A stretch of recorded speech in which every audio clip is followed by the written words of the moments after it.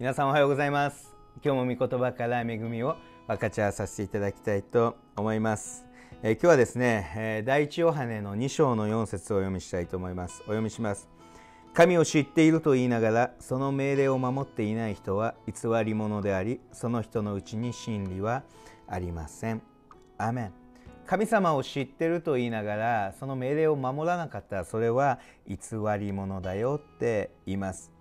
神様を知る私たちはその主の命令を守ること主の喜ばれることは何であるかということに心を止めていく必要があります。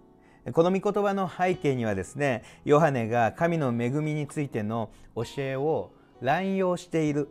そのような人との論争が人々との論争があるんですね。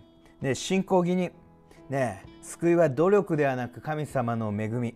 それは正しいことで私たちはその恵みゆえに救われました。しかしですね間違った教えを教えるこの偽教師はですね救いは恵みによるからどんな教えも守る必要がない。そのように言うんですね。それは間違った教えです。ね、罪深い生活を捨てるかどうかはそれぞれが選んでよいとこの偽教師たちは教えていたんですね。これ間違った教えですよ。決してそのように信じないでくださいね。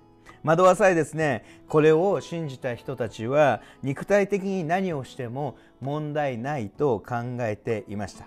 これに対してヨハネは神を知ると言いながらその命令を守っていない人はそれはお前偽り者だよってそれは嘘つきだよって本当の信仰はないそこに真理はないんだってそういうふうに言ったんです。そしてですね私たちはイエス様のようにイエス様を模範として歩むべきであると言うんです。です、えー、2章のですね5節6節。しかし誰でも神の言葉を守っているならその人のうちには神の愛が確かに全うされているのです。それによって自分が神のうちにいることが分かります。神のうちにとどまっているという人は自分もイエスが歩まれたように歩まなければなりません。救いはですね恵みによります。でもどのように、えー、もう好きなように歩んでいいんではないんです。私たちは本当にですね救われた中でイエス様を模範として歩む。それがですね本当に救われた者の歩みであるということなんです。イエス様を目指すことを選んでも選ばなくても良いのではありません。一つ一つの事柄に対して自分がどのように感じているかではない。神様が何て言われているか神の基準はどこにあるか。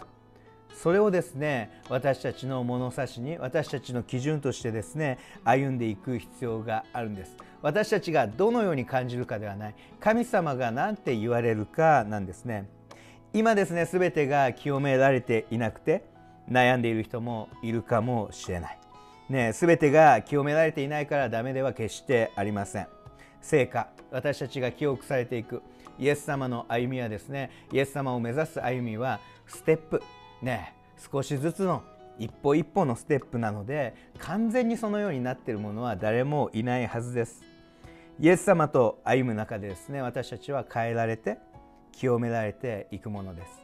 今完全でないのはみんな一緒です。私もとっても不完全です。ね失敗もします。罪のですね性質が残っているのもみんな一緒です。でもこの神の命令を守りたいという道から離れないでいただきたいとはと思うんです。ある人はですね私はもう許されているから何をしても大丈夫と言う。それは間違った教え。間違ったことに耳を傾けないでください。その方がですね楽に感じるんですよ。ダメですよ。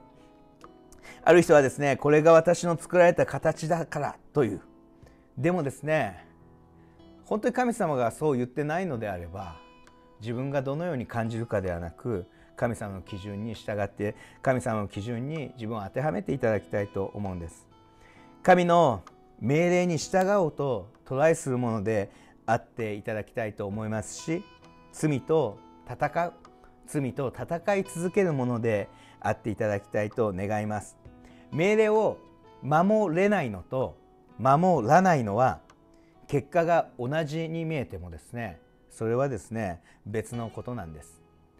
私たちはですね神を愛する道を歩もうと神様が喜ばれる道を歩もうといつもチャレンジし続けてください。主と共にですね歩み続けてください。時にですねまだなかなか超えられない罪なかなか超えられない習慣があるかもしれない。諦めないでください。これでいいやと、ね、そこで止まらないでください。